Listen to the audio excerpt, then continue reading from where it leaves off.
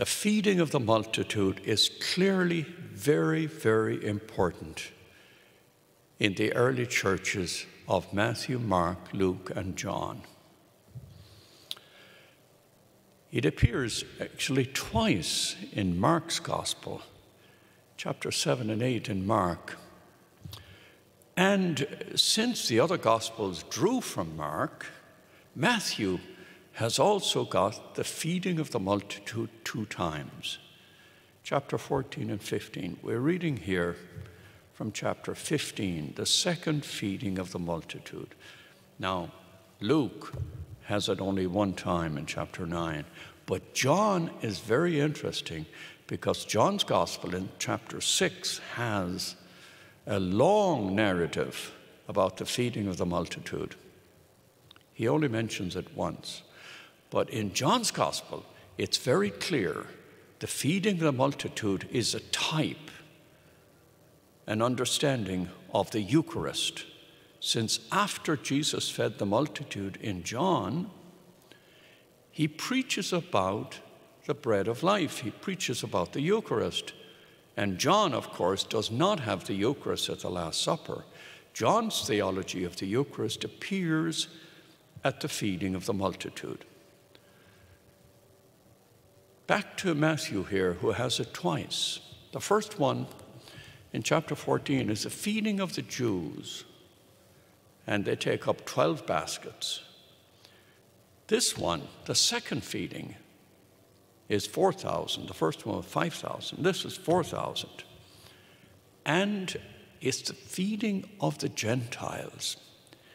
And scholars, I, have gone through all of this in the Holy Land many times. Scholars will point out that the second feeding happens in Gentile territory. Therefore, it's a feeding of the Gentiles, and rather subtle but very interesting.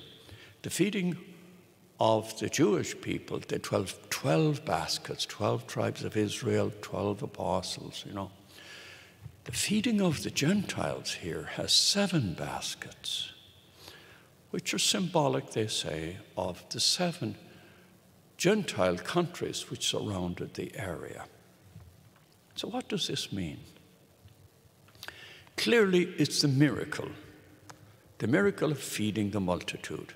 Clearly, it's meant to be a preamble to understanding the Eucharist. Clearly, the Eucharist, therefore, is a sacrament of inclusion. Jesus feeds the Gentiles. So it's meant to be a sacrament of inclusion, a sacrament of binding, a sacrament of building community, a sacrament where community comes alive, where there's healing, there's feeding of those who are hungry. Who qualifies to be fed in the great miracle? Those who are hungry. Now that's very interesting says, Who belongs to the living God in Jesus Christ?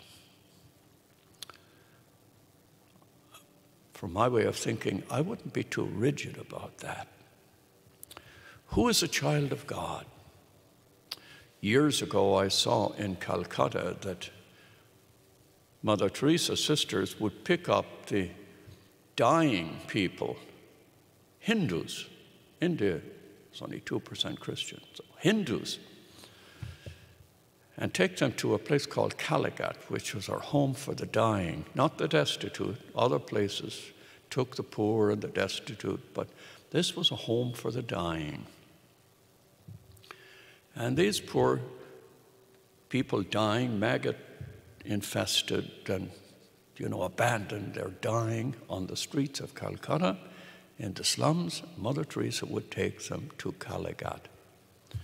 And there they would wash them clean, put them on a stretcher, and a volunteer, and I volunteered at, at Kalighat one time, the volunteers and the sisters would stay with the person who was dying, maybe just rub their hands.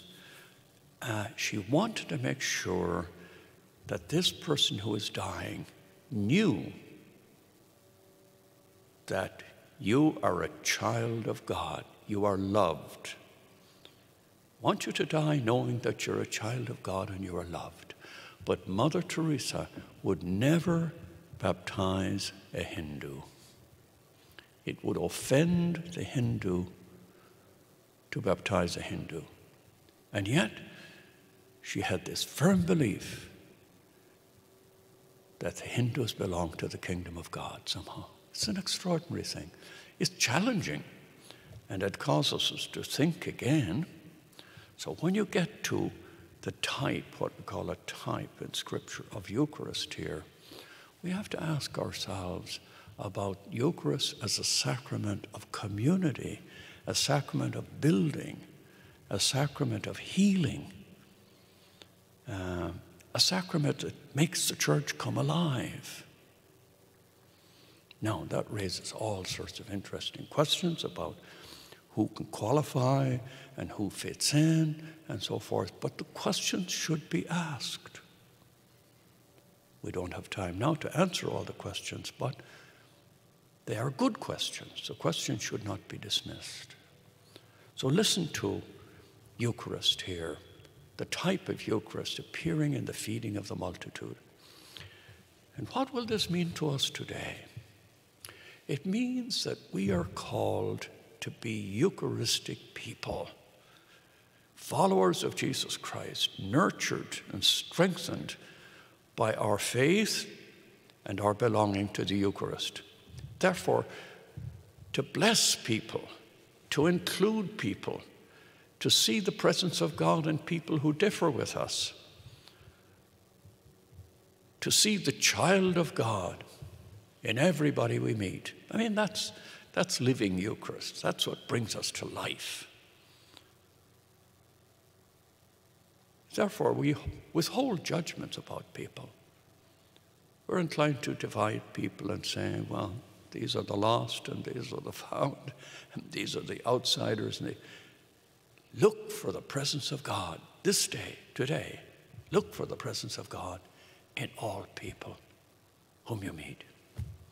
And then you and I will become living Eucharist, binding, healing, including, forgiving. That, that's what living Eucharist means.